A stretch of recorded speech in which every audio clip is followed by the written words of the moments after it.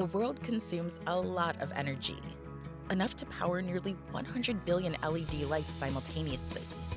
To help keep up with demand, technology is making renewable energy sources such as wind and solar more viable. But how does energy from the sun become energy we can use? Part of the answer lies in the hidden, powerful work of semiconductors that enable energy to travel from sun to switch. It starts when photons from the sunlight hit photovoltaic solar panels and billions of electrons break free. The electrons are harnessed into a direct current and routed to a solar inverter, where semiconductors measure voltage and current to calculate the energy and decide how to use it, and also convert the energy into an alternating current for use in our home. The energy can take two routes into the home. The first is direct consumption. Semiconductors supervise this journey, so when you turn on a light switch or run your home appliances, the energy is there, ready for instant use. The second route moves unused energy into storage.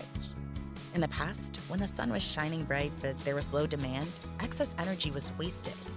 Now, thanks to battery storage systems and semiconductors, unused energy can be safely stored until we need it.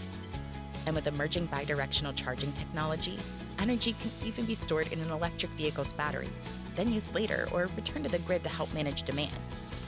At Texas Instruments, we are working to advance the journey of energy through semiconductors so that more homes, buildings, and cities can be powered by clean, alternative energy.